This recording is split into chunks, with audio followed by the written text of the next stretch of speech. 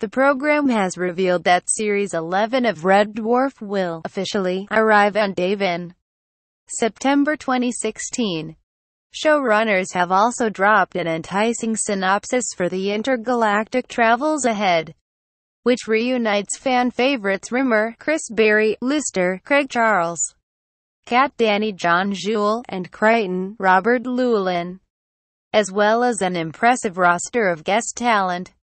They revealed, Rimmer accidentally saves the life of a Space Corps captain and is promoted to officer, while Cat takes time off from being in love with himself to fall in love with a female cat with a secret. In the meantime, Lister wakes up to discover a deranged droid has stolen some of his body parts and Kryten has a midlife crisis and considers leaving the Dwarfers for a younger crew. The posse also find themselves in an alternative America where modern technology is outlawed, making both Kryten and Rimmer illegal.